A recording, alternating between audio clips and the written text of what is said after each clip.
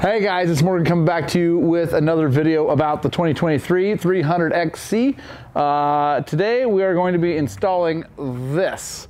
Uh, it is an anti-gravity 8 cell, what do they call it, the AG801.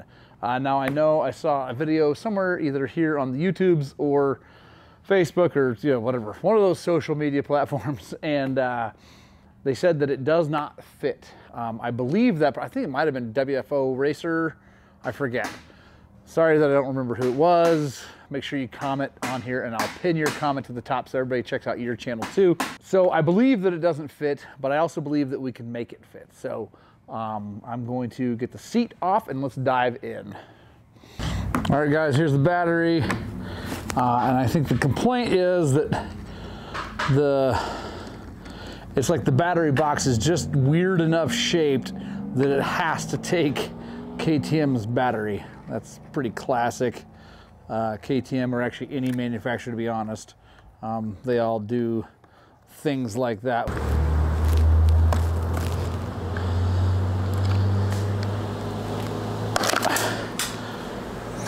there we go. What a nightmare that is. But that's all right. SkyRichBattery.com. Been a fine battery, except that I noticed that when I uh, hit the start button, the reason I'm doing any of this is that when I hit the start button, uh, it drops all the way to like nine and a half volts, which is not good for um, battery life or starter life. So we got the eight cell. Let's take a look pretty close. Man, it's, I don't know guys, looks pretty close to me. Let's see. All right, so it is just a little bit longer, but which means the where it fits in the bottom is going to be a little bit off probably, but Gosh, it is close. Touche, KTM, but we're gonna make this work. Look at that, guys. It is so close. So basically what we need to do is remove the ridge from one side of this and this. I think what we're gonna do is take this left side because there's a little bit less. So one second, I got the right tool. All right, got a die grinder, a little burr on it. I know this seems excessive, but I want to be able to put my own battery in here and not have to buy theirs. Let's see if I can bring in here so you can see that. A little chewed up looking, but that's all right. Nice and flat. Now we got to deal with this.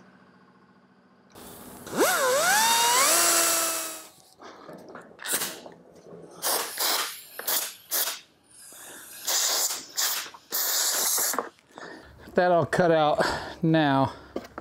Let's see.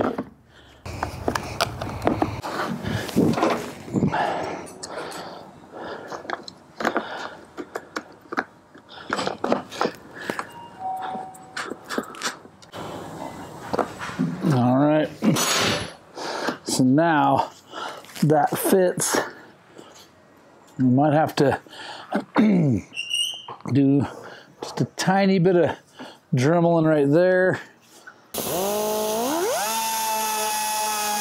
One thing I really like about these anti-gravity batteries is it doesn't have those little nuts. It just hooks directly to the battery.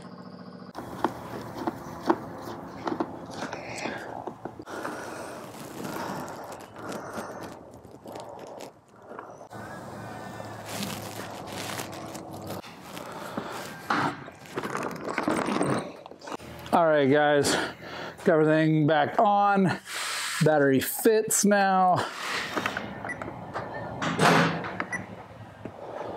All right, 13.6, let's hit the button, or 13.16.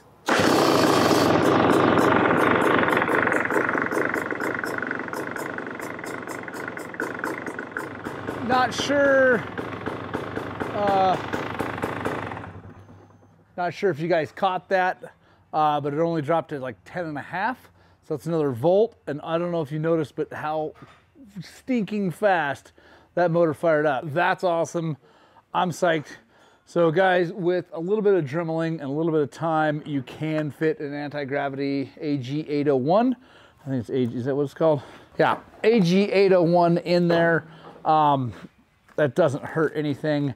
You can see battery doesn't want to move. It's in there tight. I could probably slide, actually, take this foam, or actually maybe what I'll do, I'm gonna take the foam off of this and slide it in there because that's probably this, this is probably the same thickness, um, just different, you know, the width of the old one is just a little bit narrower. So that fits good. I like that a lot. I'm happy to have that battery in there. I run that battery in that bike and I've had it in there for a long time and it works great, even in the cold and everything. So I'm a big fan of anti-gravity. I'm also happy that we got the uh, um, True North wiring harness routed a little bit better. So we got said the relays here, got all that down in there. That's all happy now. Uh, so now, there you go, guys. Yes, you can put an anti-gravity in your bike. It does require, I guess, ruining the uh, battery box, but I don't really care about that. If I needed to, someday I could buy another battery tray. I don't think I'll ever need to. Hope you guys like that video.